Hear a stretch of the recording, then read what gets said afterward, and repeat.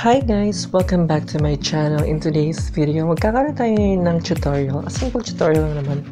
Kung ano nga ba yung Huawei Highlink. Paano siya makonect sa packet wifi mo na Globe. So, ang gamit yung wifi is yung Globe na LTE. Bin nabili ko siya sa Globe Store. Worth 1,295 lang naman. So, para maka i-change mo yung password mo, kailangan i-download mo yung Huawei Highlink. Meron ito sa Apple App Store, Google Play Store. So, buksan natin yung app. So, dito sa Huawei Highlink, dito natin i-change yung password natin.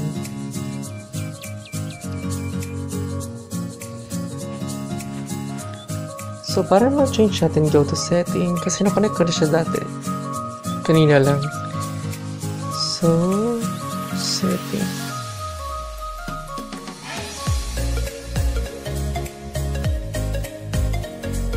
Punta sa my wifi. Dito sa my wifi, dito may change yung password mo gusto mong password. And yung wifi name na rin. So, ako, change ko na lang siya. So, yung password ko, di ko na i-change. Kayo, kung gusto nyo i-change, pwede naman. Tapos, ito pa lang SSID. Pwede nyo siyang i-hide. Kunyari, ayaw yung maipakita sa friends mo or family mo yung name mo. Magiging invisible siya sa kanya. Ikaw lang makakaalam. Pwede mo siyang i-on. So, check na natin siya. It takes 5 minutes para ma-change yan. Depende sa signal ng Wi-Fi.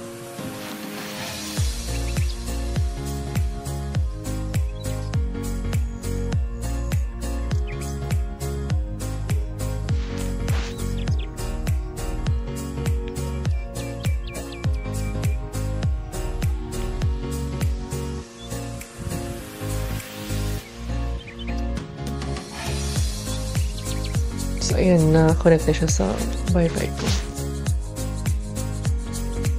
Hmm. Then, punta naman tayo dito sa tools. Ang tools na dito sa Wi-Fi Highlink is dito mo pwedeng ma-monitor yung kung aling percent na yung battery ng Wi-Fi mo. Pwede mong i-click yung Smart Power Saving para automatic pag hindi mo siya ginagamit ng matagal, mag-off na lang siya. Nandito rin yung shortcut. Dito yung guess. Kung gusto mong gumamit naman ng guess.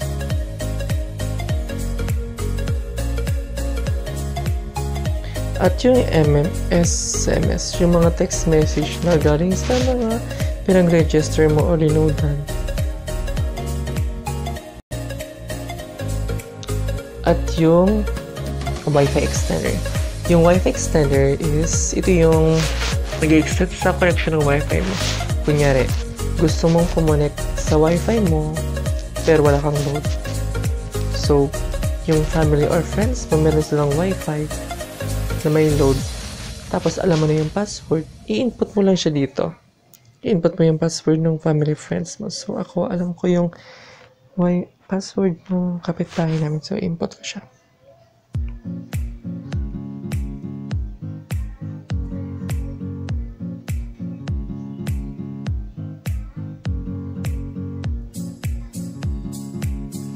After mo input na, i-correct na siya.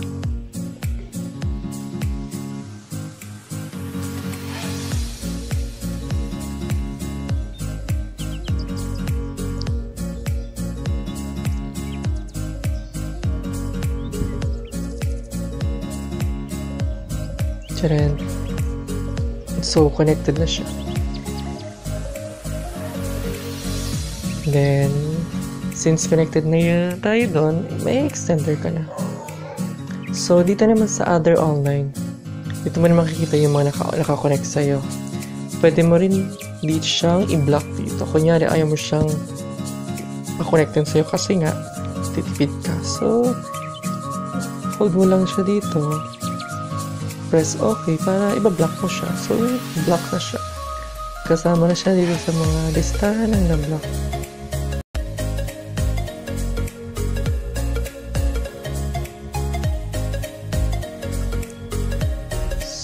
Ayan, black na siya. So, that's it for today. Thanks for watching. If you like this video, please give a thumbs up. Bye guys!